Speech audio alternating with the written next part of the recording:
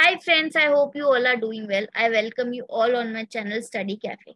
तो फ्रेंड्स आज हम इस वीडियो में डिस्कशन करेंगे about GST automated return scrutiny so friends eleventh मई को हमारी फाइनेंस मिनिस्टर ने सीबीआईसी को इंस्ट्रक्शन दिया कि अब आप जीएसटी रिटर्न की स्क्रूटनी को ऑटोमेट कर दो तो जब हम ऑटोमेशन की बात करते हैं तो अब आपकी रिटर्न में आर्टिफिशियल इंटेलिजेंस का जो यूज़ है वो ज़्यादा होगा अभी इस वीडियो में मैं कुछ ऐसे पॉइंट्स डिस्कस करने वाली हूँ, जिसकी बेसिकली अगर आपकी रिटर्न में कुछ ऐसे मिसमैच हैं या कुछ ऐसी गलतियाँ हैं तो वो एक्सेप्शन रिपोर्ट बनेगी और वो एक्सेप्शन रिपोर्ट जो है वो जीएसटी ऑफिसर्स को जाएगी।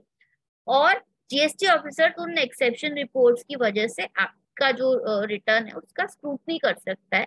तो वो मैं अब इस वीडियो के थ्रू डिस्कस करने जा रही हूँ। और एक चीज़ और ध्यान रखिए कि अब ये जो आपका आर्टिफिशियल इंटेलिजेंस वाला मॉड्यूल इंट्रोड्यूस हुआ है, इसके बाद जीएसटी ऑडिट्स और जीएसटी रिटर्न की जो स्क्रूटनी होती है वो और ज़्यादा बढ़ेगी। तो जीएसटी रिटर्न फ़ाइल करते वक्त अब आप लोगों को और ज़्यादा सतर्क रहने की ज़रूरत है।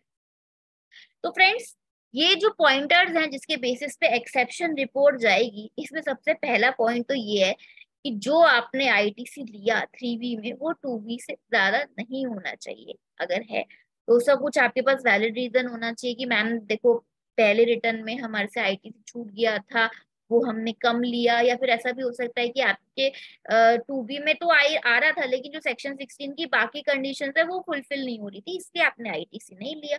ठीक है? अगर ऐसा कुछ है, आपके पास वैलिड एक्सप्लेनेशन है then it is a different thing otherwise आपका जो आईटीसी है, जो आप टू बी में ले रहे हो, वो जो कि आप थ्री बी में ले रहे हो, वो टू बी से ज़्यादा नहीं होना नेक्स्ट आपने जो टर्नओवर डिक्लेयर करी, वो आर वन की टर्नओवर और थ्री बी की टर्नओवर मैच करनी चाहिए। उसमें मिसमैच नहीं होना चाहिए। अगर उसमें कुछ मिसमैच है उसकी भी प्रॉपर रीजनिंग है तो ठीक है। जैसे कि पहले कम ली थी टर्नओवर या पहले आपने कुछ गलती कर दी थी थ्री में, ज़्यादा दिखा दी, ज़्यादा टैक्स पे कर दिया, अब आप उस गलती को अमेंड कर रहे हो। ऐसा कुछ है, आपके पास एक्सप्लेनेशन है then it's well and good explanation नहीं है तो then you are going to be in trouble next अच्छा अब ये इम्पोर्टेंट आपने किसी ऐसे रजिस्टर्ड पर्सन से आईटीसी ले लिया जिसका रजिस्ट्रेशन नंबर कैंसिल हो।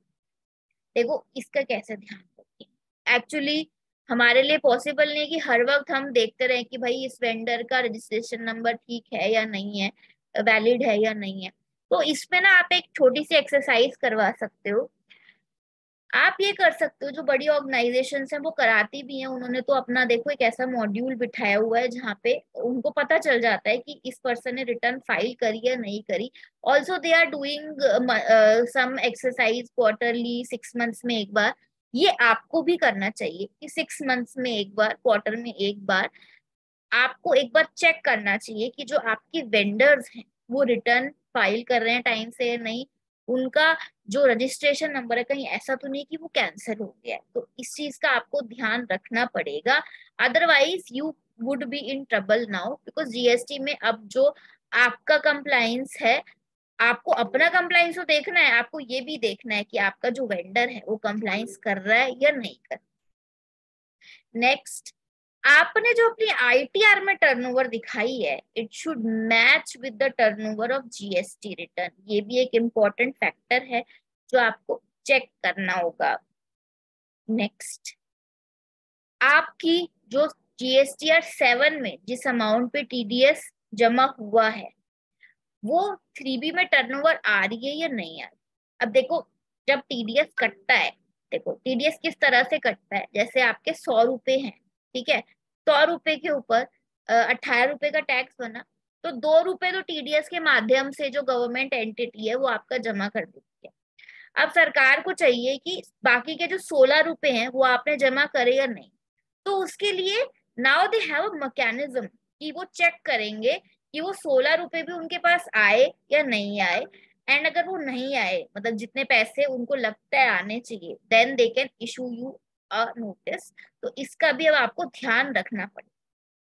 नेक्स्ट सेम जो टीडीएस का केस है, वही सेम टीसीएस का केस है, ठीक है? तो टीडीएस जो है वो तब है जब आप गवर्नमेंट एंटिटी जैसे government department state government department PSU के साथ, या लोकल अथॉरिटी के साथ, या गवर्नमेंट अथॉरिटी के साथ ट्रांजेक्शन करते हो एंड टीसीएस जो है वो आपका ई कॉमर्स ऑपरेटर के केस में कलेक्ट होता है। तो ये आपको चीज़ें ध्यान रखनी पड़ेगी। टीसीएस के केस में शायद ज़्यादा लोग होंगे, क्योंकि बहुत सारे लोग हैं जो आजकल अमेजोन वगैरह फ्लिपकार्ट वगैरह पे अपना सामान बेचते हैं, जहाँ पे अमेजोन फ्लिपकार्ट उनका टीसीएस कलेक्ट करता है, या फिर जोमेटो स्विगी भी अब आ गए हैं इसमें या ओयो होम्स वगैरह है।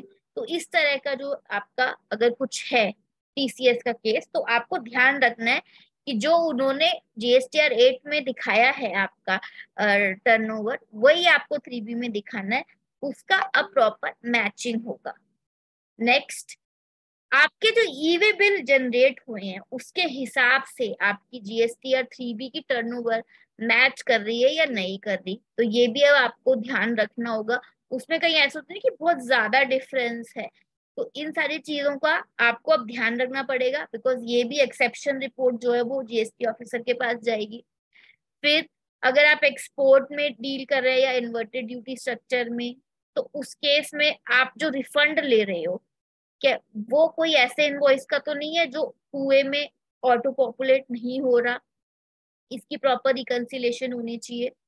फिर आप कोई नॉन एग्जिस्टेंट आरटीपी से तो परचेज नहीं कर रहे। अच्छा ये जो नॉन एग्जिस्टेंट आरटीपी वाला है this can be compared with जो अभी आपकी जीएसटी फेक रजिस्ट्रेशन ड्राइव होगी। ठीक है? तो उस ड्राइव के बाद भी बड़े सारे फेक रजिस्ट्रेशन निकलेंगे। हो सकता है बड़े सारे रजिस्ट्रेशन कैंसिल हो। तो आप अपने वेंडर से भी नज़र रखो, ठीक है? कि कहीं ऐसा तो नहीं उनका जीएसटी नंबर कैंसिल हो गया due to some non compliance तो अगर कुछ ऐसा है तो आपको ध्यान में रखनी है चीज़ें, क्योंकि उसका हो सकता है आपको आईटीसी ना मिले और अगर आईटीसी ले लिया तो आप आगे चल के मुश्किल में पड़ जाओ।